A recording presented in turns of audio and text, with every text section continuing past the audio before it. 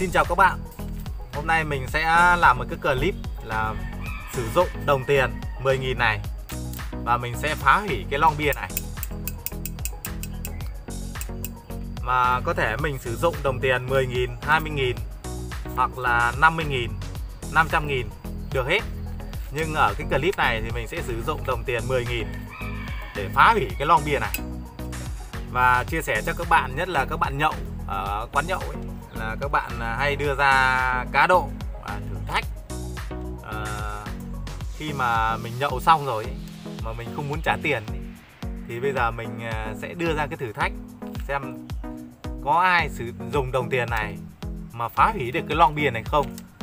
Nếu mà ai không tin thì bạn sẽ làm và bạn sẽ làm là bạn sẽ đặt ra cá độ. Hôm nay nếu mà mình phá được cái long bia này sử dụng đồng tiền này phá được cái long bia này thì bạn nào thua thì bạn đấy phải trả chầu nhậu. Các bạn thấy có lời không? Ừ. hai nữa là có thể mình cá độ là một chầu nhậu này thế tăng lên hai chầu nhậu hoặc là ba chầu nhậu để hôm sau đi nhậu tiếp không mất tiền. Vậy bây giờ các bạn cùng theo dõi xem mình làm thế nào nhé và trước tiên thì à, các bạn sử dụng đồng tiền này 10.000 mới cực mới cứng nhé các bạn nhé Đây, à, các bạn sẽ gấp vào. Đấy, các bạn gấp theo mình nha Đấy, gấp đôi này.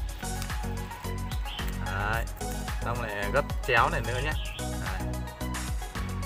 Đấy, các bạn gấp làm sao để cho nó cứng lại à, sau đó tí nữa mình lại nói theo nói tiếp theo Đấy, các bạn gấp gấp cực nhỏ lại cho mình Đấy. Đấy.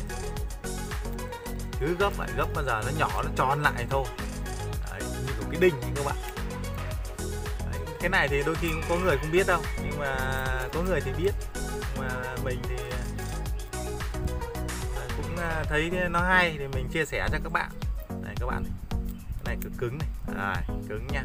Bây giờ mình à, sẽ các bạn không cần phải tròn được như thế này đâu các bạn các bạn cầm ngắn này.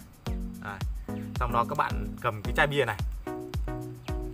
Các bạn trọng nhưng còn thêm một cái mẹo nữa là các bạn à, muốn chọc thủng nó dễ dàng hơn ý thì các bạn cầm cái lon bia này các bạn lắc Đấy. lắc lắc thật mạnh lên Đấy. xong đó các bạn cầm cái lực này Đấy. các bạn chọc Đấy, mình lắc thêm tí nữa này Đấy.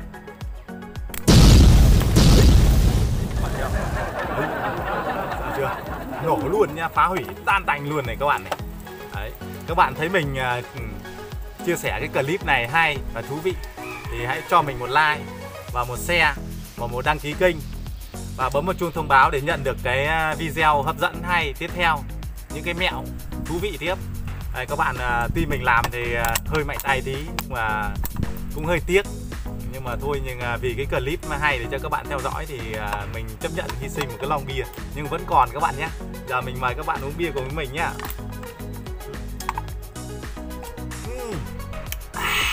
Ngon tuyệt vời các bạn ạ. Thôi bye bye, hẹn gặp lại các bạn những clip tiếp theo.